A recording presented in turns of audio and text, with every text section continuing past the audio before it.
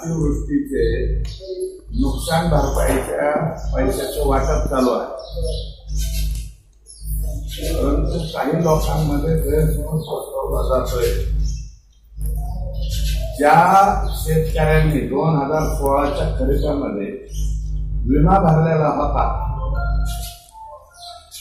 त्यांना एनडीआरएफचे पैसे मिळणार नाही.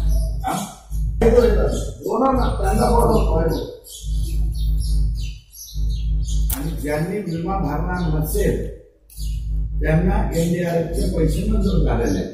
आणि ही घोषणा सरकारने त्यावेळेस औरंगाबादला मुख्यमंत्र्यांनी त्याच दिवशी केलेली होती. बरं का? त्यामुळे विमा भरलेल्या शेतकऱ्यांना एनडीआरएफच्या नुकसानीचे पैसे मिळणार. विमा भरणाऱ्यांना नाही मिळणार कारण त्यांना विम्याचे पैसे ऑलरेडी मिळालेले बरं का ते काही लोक काय होत आहे दोन भाऊ आहेत एकाने विमा भरला त्यांनी त्यावेळेस विमा उचलला आता पैसे आता नाही हे माझा भाऊ आहे सर्व नंबर सेम सातबारा सेम पैसे ह्यांना आले जो विमा उचलणार आहे तो म्हणतो मला कसं काय नाही आले? असा बोलतोय चाललाय.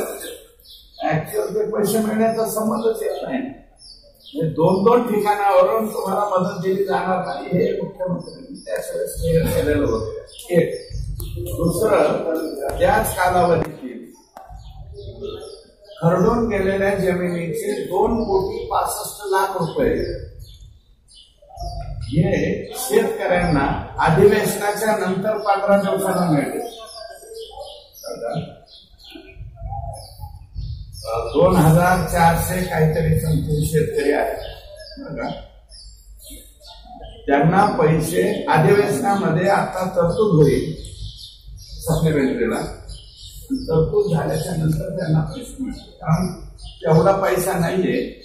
आणि तेही मराठवाड्यातल्या आठ जिल्ह्याला तिसऱ्या टप्प्याचं जे अनुदान दिलंय आता बोंडाळीचं बोंडाळीचं जे अनुदान दिलेलं आहे त्याला म्हणजे म्हणून हे पैसे हे पंधरा दिवसांनी येणार अधिवेशनाच्या कुठं आले कुठं आले असं थोडस तिथं तो गोंधळ.